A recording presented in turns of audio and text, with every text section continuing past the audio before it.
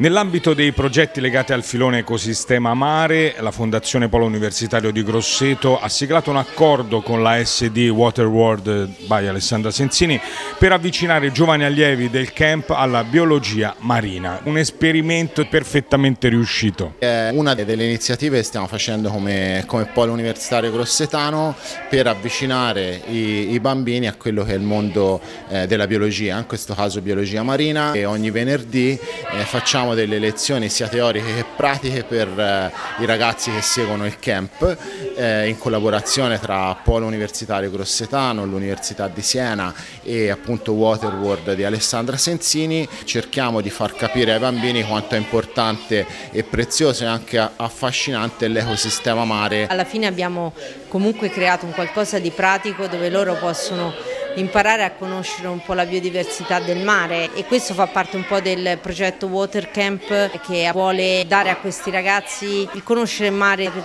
stare attraverso lo sport, attraverso tutte le discipline.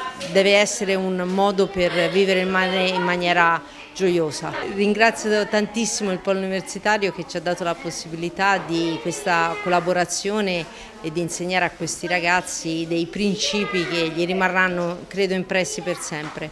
Che esperienza è stata questa mattina? È stata bellissima, mi è piaciuta molto. Abbiamo estratto il DNA dalla banana e alcuni anche dalle alghe.